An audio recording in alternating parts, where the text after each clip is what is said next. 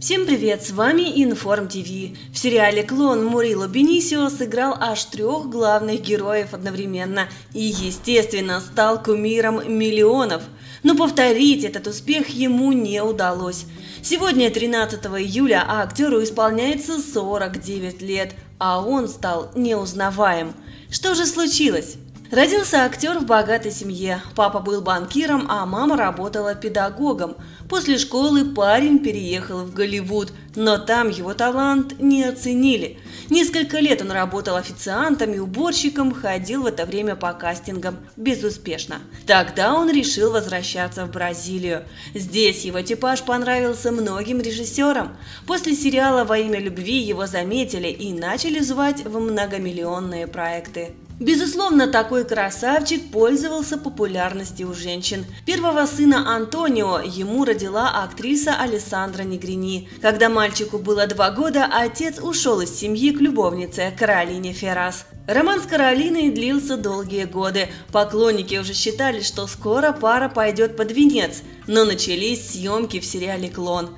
Экранная любовь с Джованной Антонелли переросла в реальную жизнь. Актер бросил Каролину, а Джованна своего возлюбленного.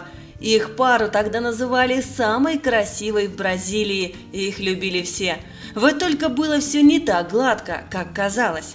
Девушка часто устраивала скандалы и истерила, так рассказывал Мурилу. А вот у Джованны была другая версия. Оказалось, что парень совсем не готов был к семейной жизни. Не спас брак и сын Пьетро, рожденный в 2005 году. Вскоре они развелись и далее последовали скандалы, и как раз в этот период карьера актера пошла ко дну. Были несколько ролей в проходных сериалах и все. Вскоре был роман с Деборой Фалабеллой, которая в «Клоне» играла его дочь, а в прошлом году актер познакомился со сценаристом Мануэлой Диас, которую теперь называет своей музой, будто и не было тех семи лет жизни с Деборой.